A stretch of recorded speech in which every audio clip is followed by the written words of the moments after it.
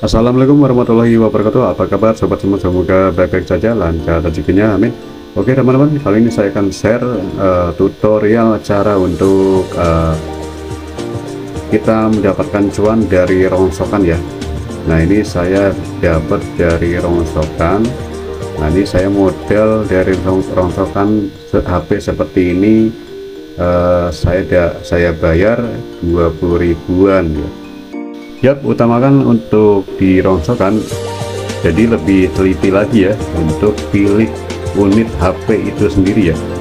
Utamakan yang masih worth it ya paling tidak masih bisa WA ya. Jadi kalau masih bisa WA masih bisa dijual COD gitu ya. Jadi kalau HP-HP jadul Android ya kemungkinan tidak bisa WA ya. Kalau terlalu jadul karena OS Android itu sudah tidak bisa di-upgrade ya atau playstore-nya sudah tidak bisa di-upgrade lagi untuk download WA ya. Jadi WA nya tidak bisa di download atau tidak cocok di perangkat anda seperti itu ya. Nah kita lanjut untuk tahap pertama prosesnya ya. Kita awali dengan cek baterai dulu. Jadi baterainya itu rusak atau gimana ya? Atau sudah kembung atau dicas tidak bisa.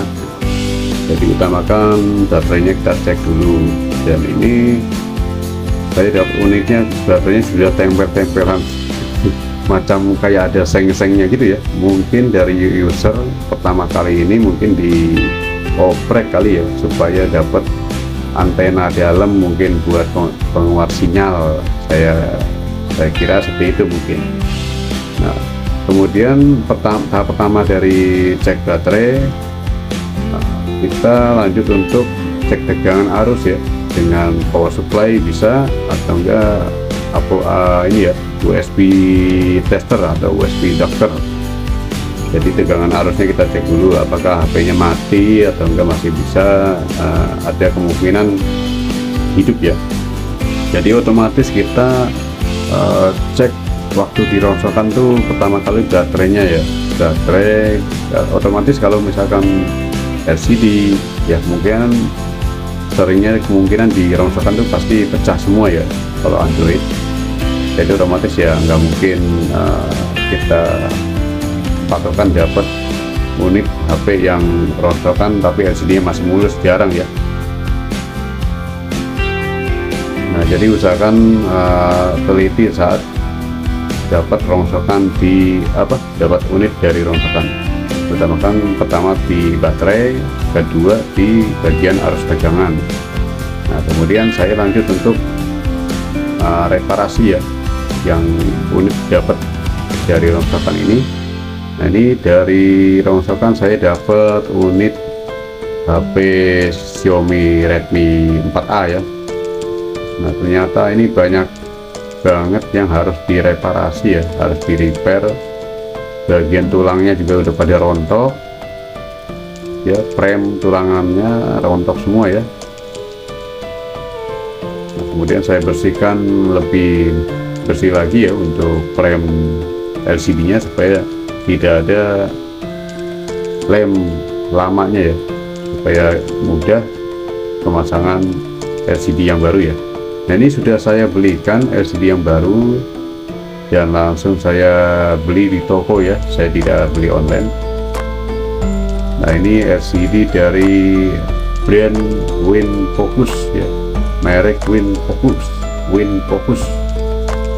Nah saya, saya tidak tahu ya ini uh, kemungkinan recommended apa enggak ya.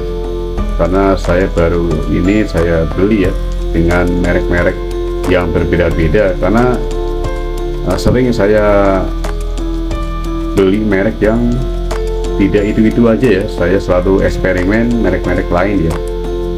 Jadi besoknya merek ini saya besoknya lagi merek itu. Jadi saya ganti-ganti merek ya. Saya supaya eksperimen mana merek yang lebih recommended dan lebih berkualitas untuk sebuah LCD ya.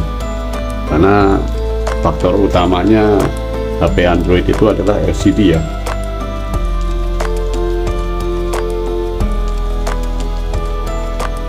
kita lanjut untuk uh, proses pemasangan LCD yang baru. Nah usahakan pengeleman ya. Pemberian lem LCD fokus di titik paling pinggir dari frame ya. Jangan di tengah. Jangan di bagian ke arah tengah ya supaya nanti saat pembongkaran mudah dilepas nah ini sudah presisi semua dan rapat ya. Tapi ada bagian frame yang retak-retak. Nah ini framenya mungkin sudah dicongkel-congkel sama yang user dulu ya. Atau sudah pernah diservis dulunya. Nah ini su saya sudah nyalakan dan saya tes langsung LCD nya dari WinFocus ya. Apakah bagus dan recommended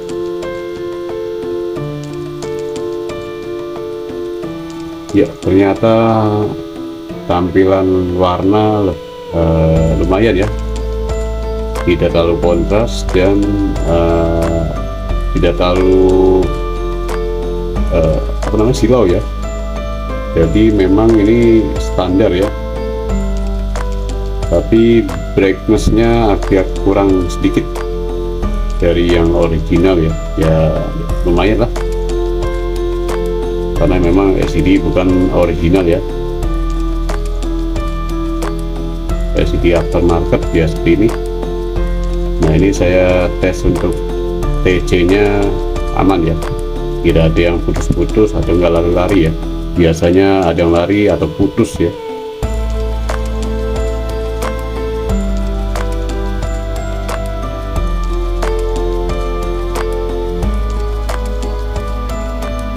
Oke semua TC nya aman. Tidak ada yang loncat-loncat dan semua jari berfungsi ya. Saya dengan semua tempel jari ya berfungsi semua. Kemudian tes kamera ya. Wah kameranya masih bagus juga ini. Wah masih mantap ini ternyata nggak salah saya dapat dari rongsokan. Masih bagus kameranya wah ini mantap ini. Kamera depannya lumayan ya agak ngeblur sedikit. Mungkin tidak kotor ya lensa kameranya. Nah ini kemudian saya belikan uh, bagian backdoor ya backdoor baru. Nah ini untuk 4A tapi ini saya belinya itu uh, murah ya. Jadi karena murah itu ada bagian yang kurang dari backdoor ini. Nah kurangnya ini ya. Bagian lensa penutup kameranya itu tidak diberikan ya. Dalam paket penjualan dan tidak ada lensa infrared bagian atas. Nah ini saya akan copot bagian lensa di backdoor original ya ini saya lepas, semua lensa-lensanya penutupnya. Dan saya akan pindahkan ya ke bagian backdoor yang baru. Nah ini kemungkinan karena saking murahnya tidak ada ya lensanya. Karena saya belinya itu 10 ribuan ya. Jadi ini backdoornya hanya 10 ribu saya beli ini ya kita lanjut untuk pasang backdoor yang baru ternyata di, nah, presisi ya tidak terlalu sulit. Oke, sudah terpasang semua untuk perakitan uh, unit HP dari rongsokan ya.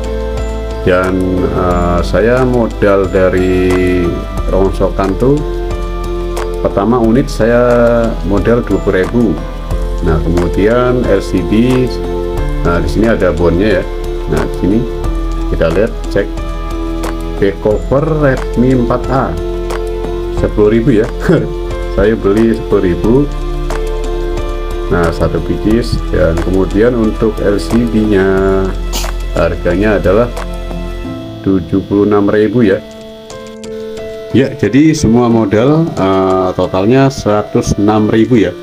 Untuk satu unit HP rongsokan yang dapat dari rongsokan. Dan ini worth it ya untuk modal segitu karena untuk dijual lagi mungkin uh, dapat cuannya ya. Karena tidak terlalu nombok dan pasti dapat cuan. Oke terima kasih atas partisipasinya semoga video ini bermanfaat. Dan mohon maaf jika ada salah kata dan kekurangannya. Dan assalamualaikum warahmatullahi wabarakatuh. Tetap semangat